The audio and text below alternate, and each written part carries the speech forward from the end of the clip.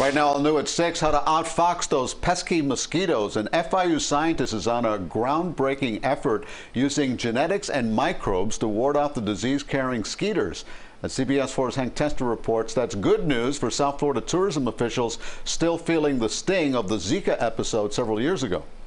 Man's battle with the mosquito through the years, spray 'em, swat 'em. Who can forget South Florida's economic disaster caused by mosquitoes spreading Zika? If we can change the way that we smell, then we can block them from finding us. We can repel them. Dr. Matthew DeGennaro is the director of FIU's Laboratory of Tropical Genetics.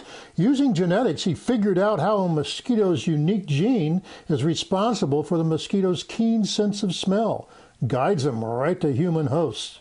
Some people are more attracted to mosquitoes than others. What we're going to do is try to figure out why.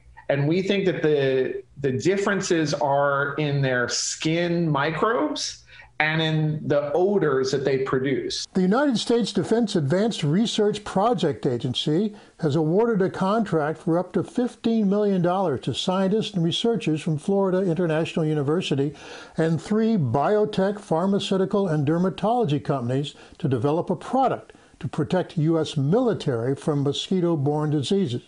The research will eventually benefit the civilian sector. We want it to last for at least two weeks it will both reduce some of the odors that we produce that are attractive to mosquitoes and it will also re- produce repellent odors that will help keep mosquitoes away.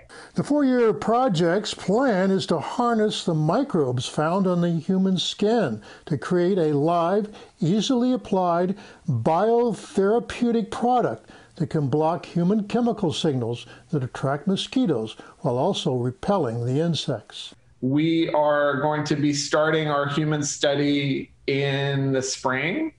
We are designing the microbe and we are uh, moving forward on development. The FIU doctor says continue to use those DEET based products. They're great for right now until that new product comes out. I'm Hank Tester, CBS 4 News.